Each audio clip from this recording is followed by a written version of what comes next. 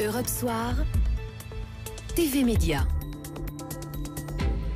TV Média avec Eva Rock. Bonsoir Eva. Bonsoir Nicolas, bonsoir à tous. Et vous nous en parliez déjà vendredi soir. Oui. On a une crise jamais vue à iTélé depuis euh, l'annonce de l'arrivée de Jean-Marc Morandini pour une émission quotidienne qui a commencé ce soir. Exactement, un peu avant 18h en direct, on a entendu Jean-Marc Morandi dire ça. Euh, bonjour et bienvenue. Très heureux de vous retrouver sur iTélé pour Morandini Live. C'est votre nouveau rendez-vous média en direct. Pendant une heure, l'actualité décryptée par les médias, c'est en direct sur iTélé. Un coup d'envoi donc de cette nouvelle émission sur les médias Morandini Live, tournée depuis les studios de iTélé. Alors c'est un rendez-vous quotidien de 18h à 19h avec du zap, un invité, en l'occurrence Stéphane Plaza ce soir, et quelques soucis techniques. Et selon nos informations, M6 n'était pas au courant de la présence de son animateur. Pendant ce temps-là, il y avait une partie de la rédaction des journalistes qui était en grève et qui était devant les locaux euh, de la chaîne.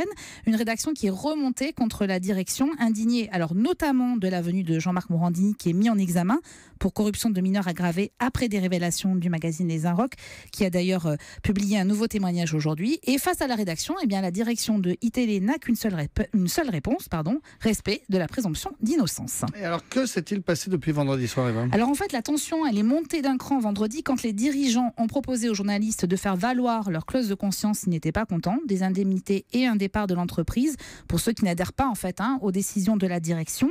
Le bras de fer s'est prolongé tout le week-end à coups de tweets, et puis ce matin encore, on apprenait à la fois le départ d'Alexandre Iffy, directeur adjoint de la rédaction, et les salariés ont voté une grève de 24 heures, mise en place à midi et reconductible. Et pendant ce temps-là, une plainte a été déposée contre la direction. Oui, comme si ça cela ne suffisait pas. hein. Une plainte pour entrave à la liberté d'expression, abus de biens sociaux et abus de pouvoir, en fait, elle émane des journalistes qui étaient à l'origine de l'enquête sur le crédit mutuel que Vincent Bolloré, le patron du groupe Canal+, n'avait pas souhaité diffuser et qui a fini par être programmé sur France 3. Alors maintenant, la question est de savoir si la rédaction va poursuivre sa mobilisation contre la direction, si ce bras fer va se poursuivre et même s'aggraver, ou si tout ça va se tasser. Et vous suivrez ça pour nous, Eva Rock. En attendant un conseil, qu'est-ce qu'on regarde ce soir? Si vous n'êtes pas trop gavé de politique, Non, vous pouvez regarder France 3 avec les coulisses de la campagne par François-Olivier Gisbert. C'est à 20h55 sur France 3. Et puis c'est suivi d'un très bon portrait de François Fillon qui est réalisé par Anna Cabana et c'est à 22h15. Merci Eva Rock.